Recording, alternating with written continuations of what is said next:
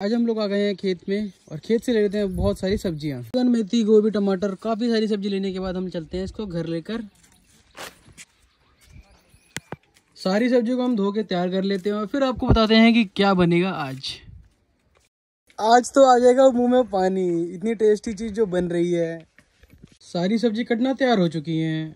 आपको भी इंतज़ार होगा क्या बन रहा है तो ये देखो दोस्तों स्पेशल मसाला, ये है पकौड़े वाला।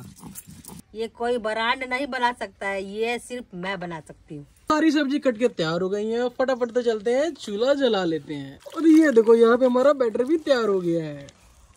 तो भाई, पनीर के पकौड़े भी बन रहे हैं, देख रहे हो, मस्त मस्त। भाई, पकौड़े देख के तो मुँह में पानी आ गया। अरे यार, फिर मुझे याद आया कि खाने से पहले थोड़ा सलाद खाना चाहिए।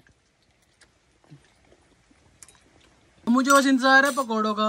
पापा इधर पकौड़े बना रहे हैं और मैंने अपना सलाद खत्म कर लिया है। अब थोड़ी सी पेट पूजा कर लेते हैं।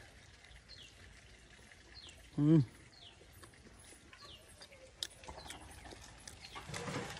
अच्छा बना पा अच्छा बना। पनीर फीका लगता है वैसे जब बीच में तो मसाला अच्छा लग रहा है। हाँ तो मसाला डाल दोगे तो बढ़िया लगेगा। हमारे घर के लुटेरे भी आ गए।